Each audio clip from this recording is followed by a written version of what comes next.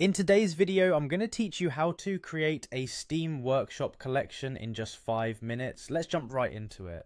First, you'll need to open your Steam application. If you haven't done so already, locate it on your device or download it from the official website.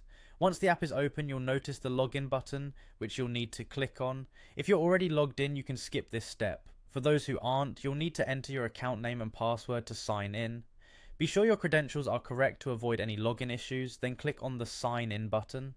After logging in, you'll find yourself on the Steam homepage. Your next step is to navigate to the community tab. This is where you can explore new content, interact with the community, and more importantly for today, access the workshop.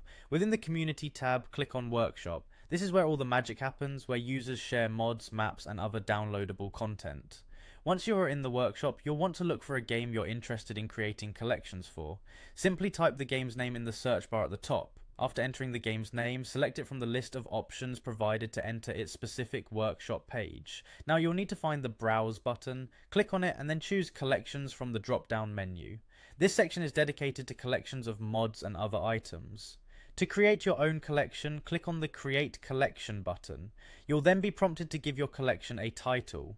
Choose something that reflects the theme or focus of your collection to easily convey its content to others. Next you have the option to upload a branding image. This is an image that will represent your collection on Steam. If you have a logo or specialized graphic, this would be the place to upload it. Additionally, you'll want to type in a description for your collection. Explain what users can expect and any themes or goals you have with these items. Also, you'll need to select the kind of collection you are creating as well as its category. This helps with searchability and organization on the platform.